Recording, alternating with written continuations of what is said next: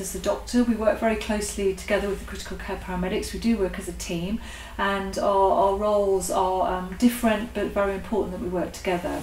So, one of the things about being a doctor is that we're allowed to give far more drugs than uh, paramedics. Critical care, critical care paramedics are allowed to give more drugs than um, standard paramedics, but obviously, as doctors, we're allowed to give um, significantly more drugs, in particular to give anaesthetic drugs and powerful sedation and pain killing drugs. So from my perspective, when we get to call, the important thing is to get on board the helicopter as soon as we're scrambled, um, strap myself in, and it's my job, I sit in the back to operate the communications and to talk to the uh, critical care desk who task us and make sure that everybody knows what's happening. On the way to a job, we'll also discuss what we're going to do, where our nearest hospitals are, and what sort of roles each of us is going to play. When we arrive on scene and get out of the helicopter, we carry the bags to the scene and I will usually make first contact with the patient or their relative or the other crews on scene to establish exactly what's happening. I will then assess the patient, either taking a history and examining the patient, and then together with the paramedic, we'll decide on a plan where we're going to go, what we're going to do, or what interventions we need to perform on scene. For the most critically ill and injured patients, one of the important things that we do is to give them an anaesthetic and uh, insert a breathing tube into their throat so that we can ventilate them on the way to hospital. This means that the patient we put to sleep with powerful anaesthetic drugs and then kept asleep in transit. The paramedic has a really important role in making sure that they get all the equipment ready and that they pass the equipment in the right order and uh, ensure that the doctor stays calm at all times. So it's really important that we work as a team on this and the paramedic is advising the doctor. Once we get to hospital, we will then hand over the patient to the receiving team and make sure that they have all the relevant information. I'm afraid my other job is also to do the paperwork when we arrive at hospital. When we get back to base, we have a, more paperwork to fill out and we make sure that we collect details of all our patients on a database so that we can follow them up and make sure that things are progressing well and that we learn um, from any incidents or problems that we've had at the time. One of the questions I often get asked is why we wear such glamorous outfits. And there are two reasons really. One is bright orange and high visibility is very important when we're on scene, especially in the dark or when we're working somewhere like a railway line. So that's one of the important features. The other one is that we've got lots and lots of pockets in here. So I'm able to carry all sorts of things. So one of the things that as a doctor I carry is I carry the drugs that we draw up every day. So for instance, this is ketamine, this is an anaesthetic drug, and because it's drawn up and ready, if we need, if a patient is really badly ill or injured and we need to give them an anaesthetic very quickly, I don't need to spend time drawing up the drugs. So we carry ketamine, which is an anaesthetic. I carry fentanyl, which is a very powerful um, anaesthetic painkiller. I carry um, flush, so that's to make sure the cannula doesn't clog up with blood. We carry midazolam, which is a sedative. And finally, we also carry some stuff called rocuronium. And what rocuronium does is that paralyses the muscles. So if we need to get a breathing tube down the patient, the patient isn't swallowing or coughing while we're doing that. So all those are ready, drawn up and good to go if we need to give them in a hurry. So that really does help us save time on scene when we're dealing with the most critically ill and injured patients. So other stuff we carry about our person and we have something that we can write on. So um, can do a little heart to write on. Um, but usually we have the consultant, I have the consultant of the day and our next mission number on there, but we can write down any important details about the job or the patient on here. Also in here, we carry um, flight board documents. So in here today I've got um, some little crib sheets which tell you um, about the different drug doses and equipment to use for different age children. So starting from really small babies, less than one month, goes all the way up through the ages um, until the age of 12. So very useful little crib sheets about children. Carry some other stuff in, in the flight board as well. In this pocket down here, I carry um, all the stuff I might need to um, put a drip into somebody. So um, needles, I'm afraid, uh, uh, things to clean the skin with, things to tape it in with. And I also carry um, scalpel and various other implements which if we need to um, cut a hole in somebody's chest for instance we can do that very quickly. And we, we have proper kit in the bags but but I just carry spares in there. In this pocket I've got very important for doctors a stethoscope and um, I also carry what's called a CAT tourniquet. And what this is used for, if you're bleeding very quickly and very heavily, um, this can be applied incredibly rapidly um, to an arm or a leg to stop um, catastrophic hemorrhage. So always helpful to have one of these um, very close by and readily available. And in fact, I did need one um, not long ago. I did use one the other day. So so always helpful to have that in the pocket. And of course, we always have various gloves um, to keep everything clean. So that's what I carry in my pockets. So one of the pieces of kit that we use for every patient is our monitor. This is our current uh, monitor. This has two functions. One is to monitor patients' important um, vital signs, so their heart rate, blood pressure, um, how much oxygen they've got going around in their blood, how fast they're breathing. Uh, and the other function is as, as, a defibrillator. So if your heart has stopped and you need an electric shock, this machine will also do that. Um, and it will do that for a range of patients ranging from very small children, obviously up to adults. So this is a very um, flexible machine really. It will take um, blood pressure, it will measure um, oxygen saturation, which I might be able to get it to do, um, which is how much oxygen I've got going around in my blood bloodstream, and it will also measure my heart rate doing that. There you go. So my heart rate is 83, that's the green number on the screen, and the amount of oxygen I've got in my blood is 100% saturated, so um, you can tell I don't smoke. The other thing it will do is it will do an ECG, so we can tell if the patient's um, having a heart attack or any problems with their heart at all. So very flexible, very quick to apply, and we'll put this on almost every patient. So really useful.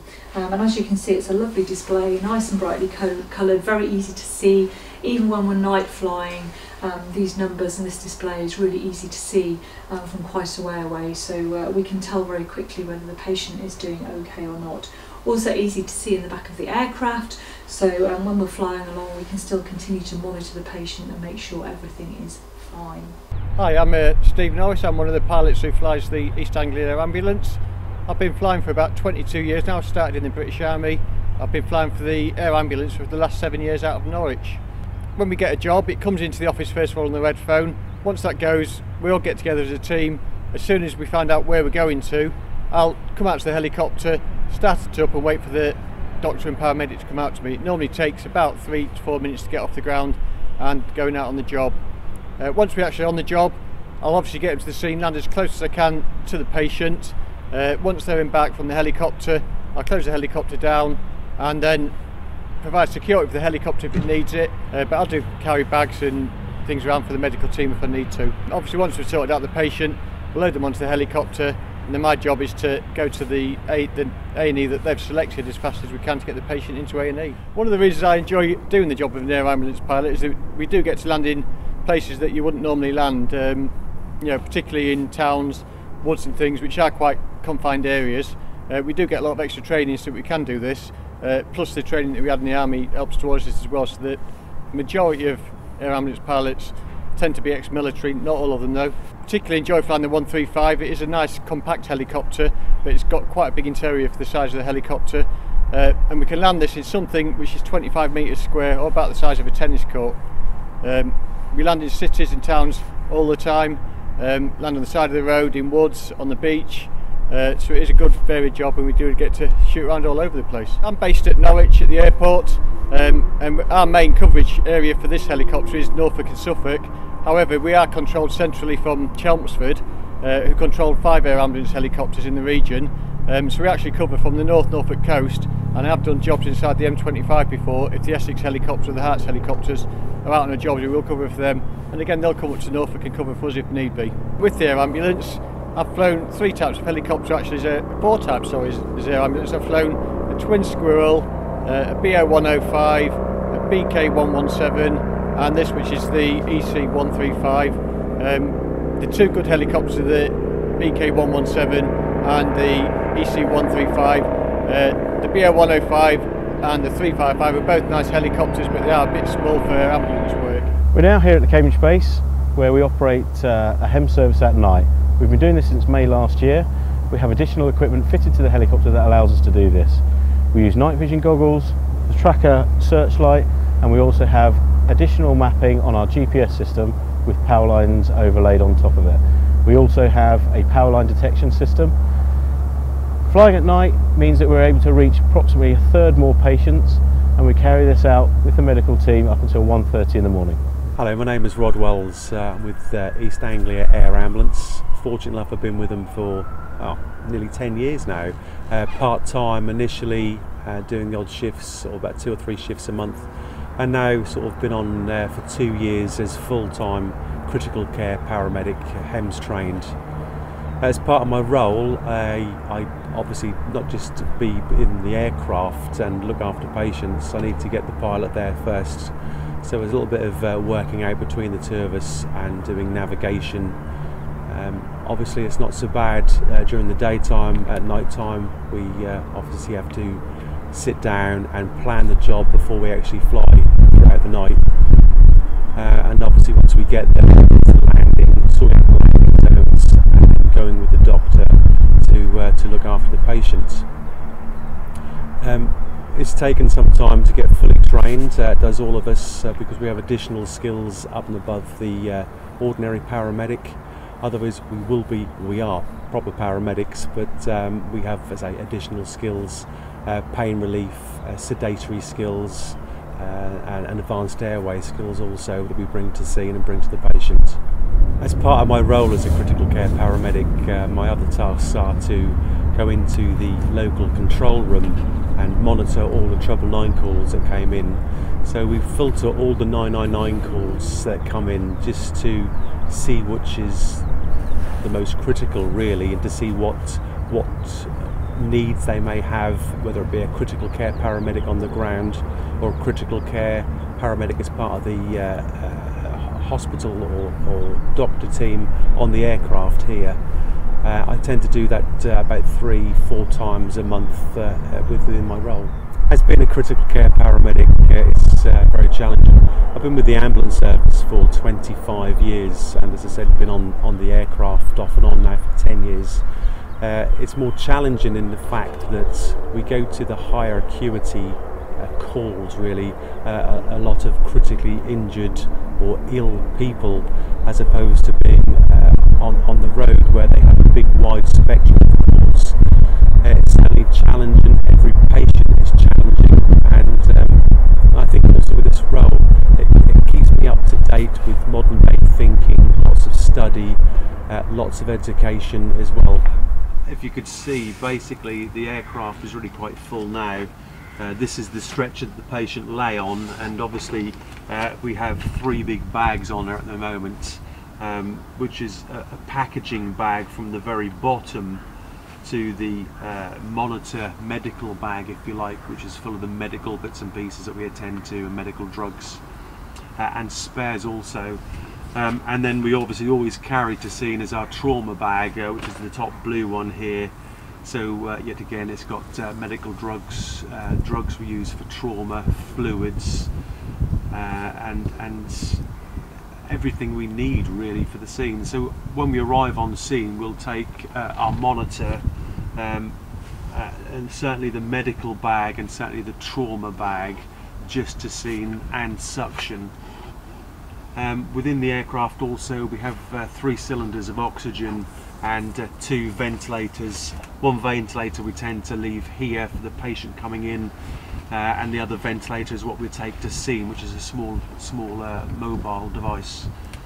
Um, we also carry an auxiliary box which is full of all spare equipment, uh, life jackets from when working around the water and obviously personal protective equipment such as helmets and gloves uh, and, and uh, fluorescent jackets. Most, uh, most of our calls originally were, were for tra road traffic accidents and and I think over the last couple of years we've seen that changed to probably cardiac arrests is, is our main focus of calls uh, secondly by uh, road traffic accidents and then equestrian accidents um, I believe we've changed and moved over the last two two three years uh, and I think this is because we've got our own designated control area now and and we're looking at the cardiac arrests that come in and, and, and we believe that we can offer a little bit more. Uh, so, so we send the team along. I mean, obviously the, ambulance service will be there and doing a great job as well. And we're just coming along just to see whether we can actually help them. Uh, we have a little bit more equipment, a little bit different drugs, um, a proven device for cardiac arrest, which is an ACD, and, and two or three different more drugs that we can probably come along and offer some help and, um, and, and hopefully get a better outcome.